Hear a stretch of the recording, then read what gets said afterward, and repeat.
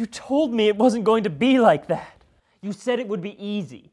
You'd knock him out with a good swift blow to the head, then we would drive him up to Wolf Lake and strangle him. It was supposed to be clean and bloodless. It's okay, babe. It's okay. It was horrible. You hit him and hit him and hit him. I could hear him struggling in the back seat, kicking his feet, howling and yelling, and all the while, thud, thud, thud on his skull, splashes of blood flying everywhere, on, on the back of my neck, on my sleeve, on my hand holding the wheel. So sorry, babe. I know it's distressing. He was much more resilient than I expected.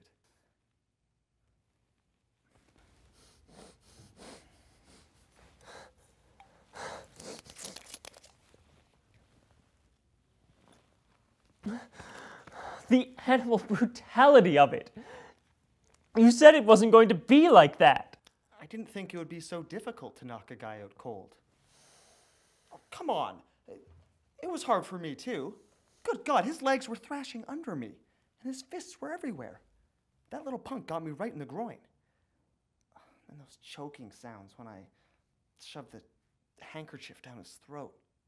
Oh, disgusting. But it was the only way I could subdue him. You mean that after all that battering, you had to choke him to death? Guess he did suffocate. I guess the back seat is a mess now. I guess it is. We'll have to scrub it. We'll have to. It'll take us hours to clean it. We'll have to expunge every spot. Don't worry, babe. I'll do it. I'll provide the elbow grease. You won't have to do a thing. Where is he?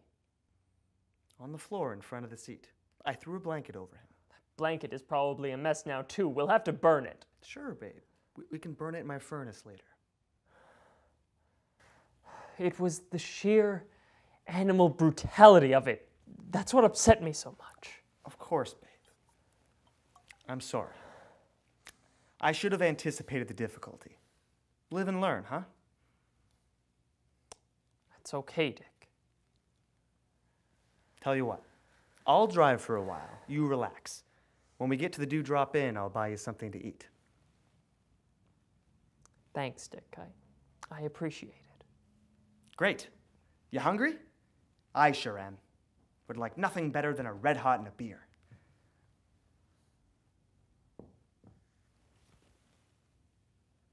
Everything will be okay.